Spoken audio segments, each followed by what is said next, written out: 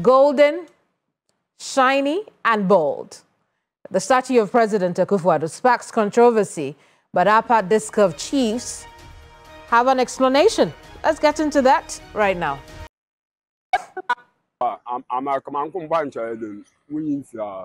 I wish the statue would be removed. What has he done for us? But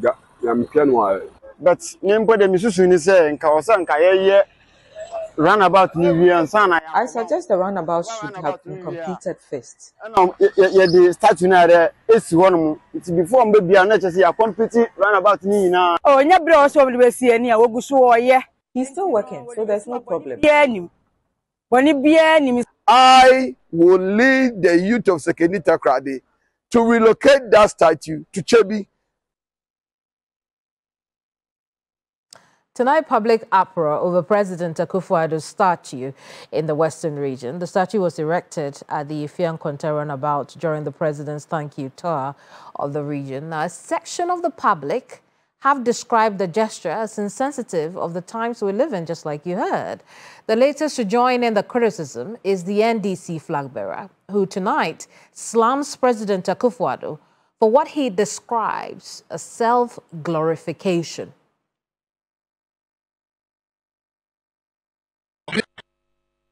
nso ɛdza sɔmihwɛ sɔmihwɛ ewie nsɔhwɛ. Sɔmihwɛ sɔmihwɛ na ewie yɛ ne nsɔhwɛ. Ɛno na akofo ado baa mepam atwa ɔmo nsɔmihwɛ mepam atwa ɔmo nsɔmihwɛ mepam atwa ɔmo nsɔmihwɛ ɛno ne yɛ nsɔhwɛ ɛnɛ. Ezu. Na ɔneɛ ɔsi ɔfa ho. Ɛno na ɔkɔ ɔtakoradi na ano ɔde ne statue akosi hɔ ɔno akɔpa ho ntoma. Wate bi da ezu ɛwɔ sɛ ɔmampanyin bia wonya ahobraseɛ nipa na ɛwɔ sɛ ɔmo bɔ waba so na ɔmo kamfo. Ɛnyɛ wɔn na wakɔ yɛ o statue na ɔde abesi hɔ na wɔn wakɔ ɛyɛ mo bɔ nsɛm ma mi na wakɔpa ho ntoma. Wate bi da ezu na wakɔ university biara yɛma o dɔkta abere a woda so yɛ ɔmampanyin o. Anka wode awie nakɔ na ɔmka sɛ o yɛhwɛ wɔ adwuma a woyɛ adeɛ sei. Enti yɛpɛ sɛ woba na ɛbɔ waba so na ɛma wo honorary doctorate. University ɛwɔ ghana ha nyinaa wɔakyi ma mo ma ma no doctor doctor doctor. Doctor no nso menim baabi a ɔde kɔ ɛzu ɛza. Enti adwene asa biribiara biribiara mbɛka hɔ biom. Nea ɔmo bɛyɛ na ɔmo ayɛ no. Ɛnso obi sɛ maaban na ɛwɔ so. Nso maaban a ɛreba no. Ɛbɛsesa nea maaban yi ayɛ na abɛyɛ aban foforɔ na mayɛ masesa maaban yi ɛdeɛ nsɛm basabasa ni. Now, this is not the first statue the president has had recently. Two months ago, at the commission of the Jamestown Fishing Harbour in Accra, a bust went up for him. Well, now, with barely two months to leave office, the president isn't the only one freezing his image in time on a slab of concrete.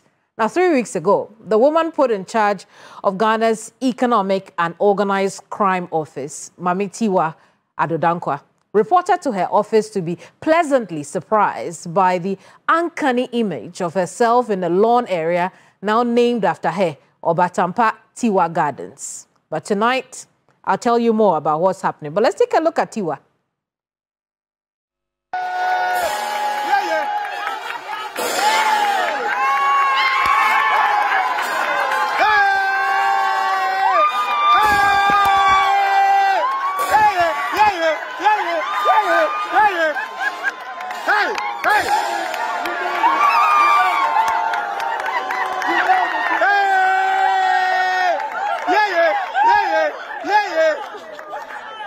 Obatampa, well done.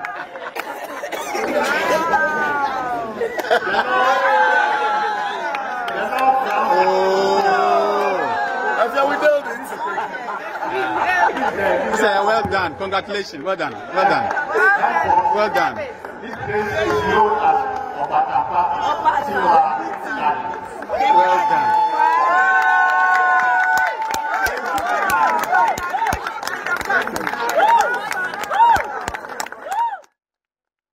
So that was three weeks ago, uh, you know, at her premises, EOCO, where her staff surprised her with a bust of herself. Now, let's talk about tonight. Tonight's a statement comes in defense of President Akufo-Addo from the Upper Dixcove Traditional Council, which says, we all got it wrong. I'm going to bring in now Obrempong Hima Dekyi the 14th for a quick chat on the back of that statement he signed in the last few hours of the night. And uh, good evening to you. What do you say it is that everyone is getting wrong about the golden statue?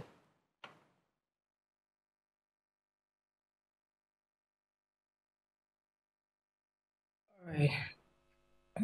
Well, it's very unfortunate sometimes the way manner some communique is um, carried out.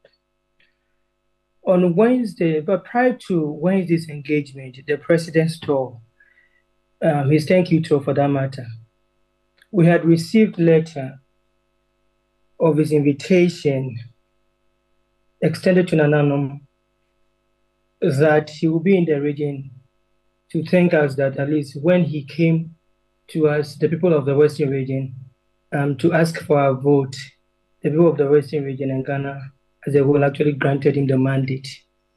And his tenure of office will be ending soon. So when the news actually came to us, quickly Nana Anum also thought of what we could do to show appreciation to him. Because the chiefs of the Western region we have always been lobbying the president for some developmental project in our region.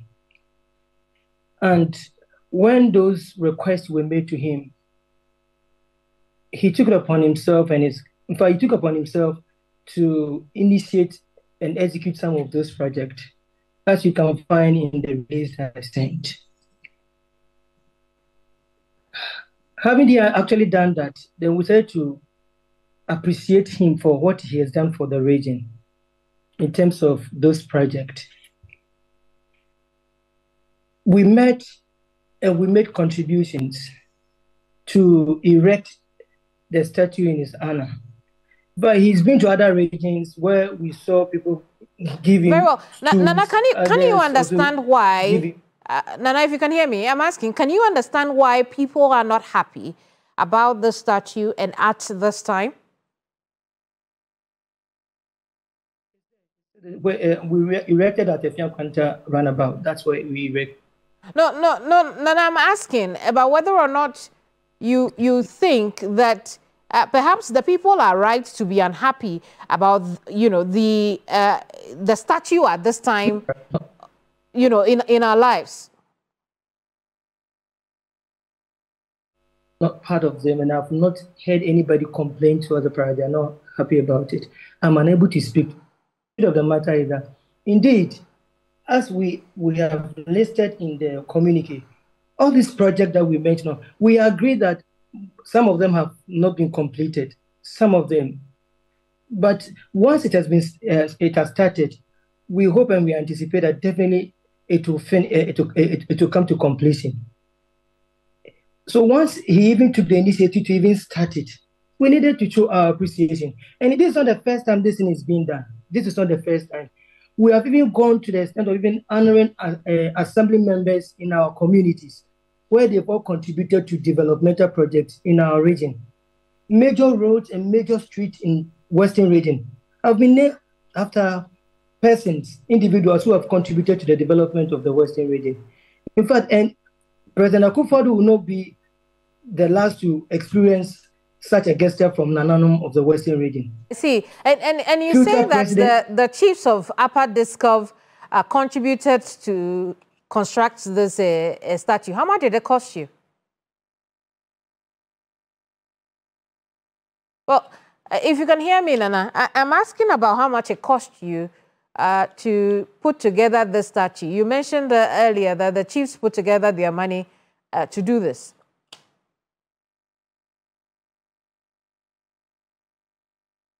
Why we erected that statue.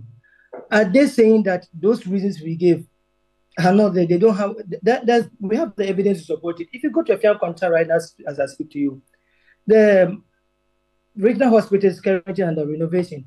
The uh, see the um, Bokro, uh, yes, Bokro, Bokro um, Hospital. Is it, has been it's almost about ninety eight percent completed. If you go to Nsawam, the hospital is functioning. If you go to uh, Grand to Takwa Road, it's finished. The projects are there to speak for themselves. The interchange is the um, market circle. So, which of these projects that we are talking about, in view of which we have actually erected this statue to honor the president, are they disputing? Santa, we need to grow above this, this um, partisan way of addressing matter. It doesn't help. It doesn't actually mm. help with development. Very well. Nana, I was asking earlier how much it cost you to put this statue up.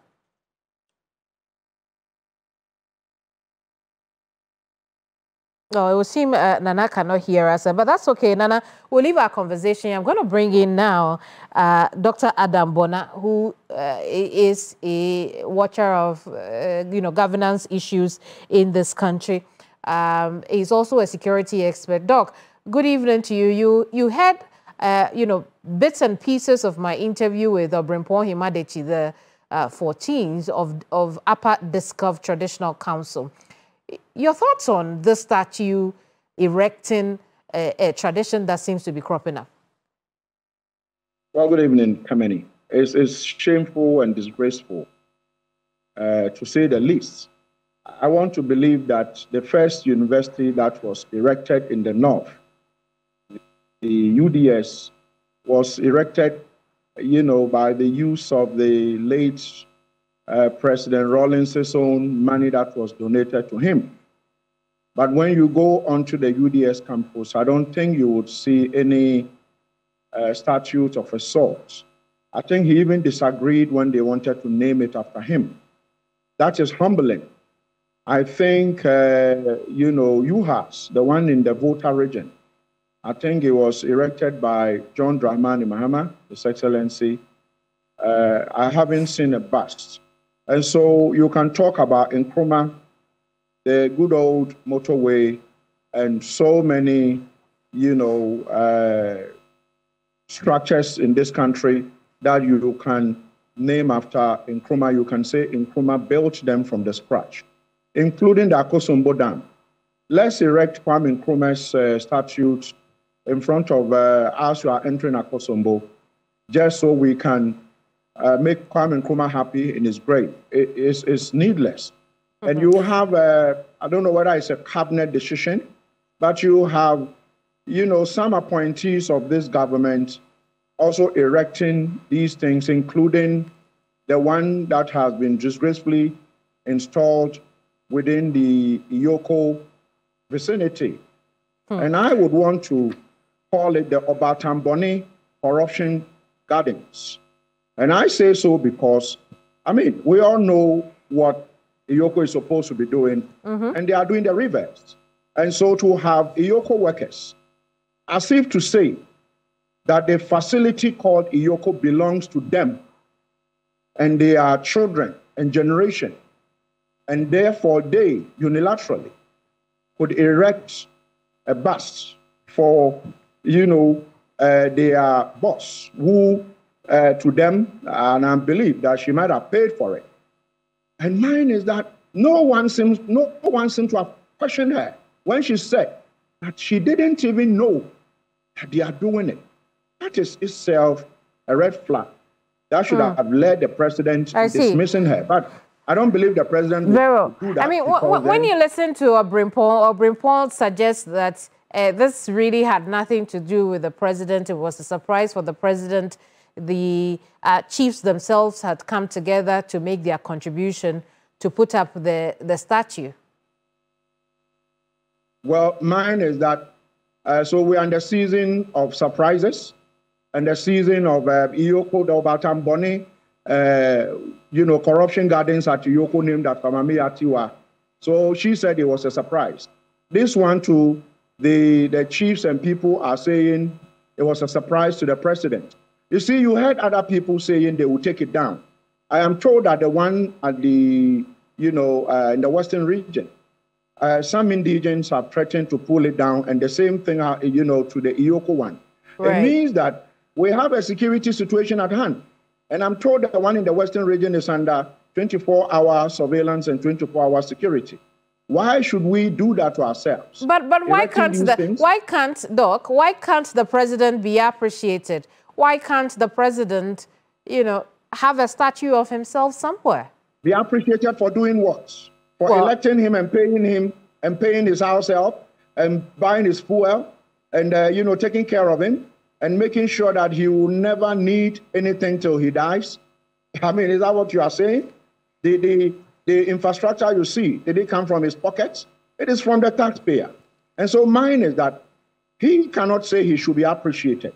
If the people of Ghana deems it fit to appreciate any leader, even if it's a school prefect, at any given point, will duly do so. And so mine is that it is needless, self-aggrandizing, and you know, uh, to say the least, that uh, the, this is just a security challenge the president is leaving us whilst he was he is on his way out. Oh, in, in I, mean, than 30 how, how, how- uh, can you explain that? How is that a security challenge he's leaving us? Do you heard someone in the Western region say, we will take this thing down? Do you know what that means? It means some people are going to drag it and break it down. And you would need the security agencies to either stop them or to look on. I have had tons of messages sent to me when the one erected disgracefully within the EOCO uh, corruption gardens was done. And they telling me, I mean, people sent it to me, young people, some I don't know them, saying that they would break through the gate when the day comes to take down that one too. I Have see. we are, are we not leaving, uh, you know, security challenge behind? Are we supposed Mm. will, will you this? will you then be telling people to put a stop to this practice? Now I'll tell them to put a stop to it and tell them to go through due process to bring them down. But the truth is that, I mean, uh, I won't be there. I won't be standing there. But I can only appeal that they shouldn't take the laws into their own hands because then that is not how we are supposed to behave. But why should our leaders be doing this? On, I mean, now, fortunately or unfortunately, we don't have a, what do you call that, the uh, toll booths any longer. And I don't know, excuse me to say for those who are eating. Those days, toilets, the moment there's change of government, people run amok, they take over toll booths, they take over toilets. So what is going to happen if we are not careful, even though I won't encourage it, is that when there is change of government, these busts are going to be taken down. Security officers, are they able to control it, even though I don't support it? And so mm. mine is that the president is on his way out. He signed out, he checked out. What he can do for us is to go humbly instead of, you know, uh, all these things we are seeing. I think Indeed, needless, uh, eh? Doc. Doc, I appreciate you talking to us. doing the same. Indeed, Doc, I Thank you, appreciate you talking to us. Thank you so much. Dr. Adam Bonaa is a security expert. He's also a, a government watcher and a commentator. We've been talking about the erection of statues of the president and another uh, official of the government. Now, I want to take the conversation back to Obrempong uh, Hima Dekyi, the 14th. He signed that statement uh, that extricated the president from the statue that has been put up in, at Ifian Kwanta runabout in the Western region. Uh, then I was asking you earlier, how much did that cost? Yes, I said um, it's around 30,000 Ghanaian cedis. Mm, I That was how much we contributed. I see. And and and all of you contributed. All, all the uh, chiefs in Upper Dixcove contributed to this. You know, contributed the thirty thousand cedis to erect that. Well, it, would appear I've lost Nana again. Perhaps we should move on to some other matters now.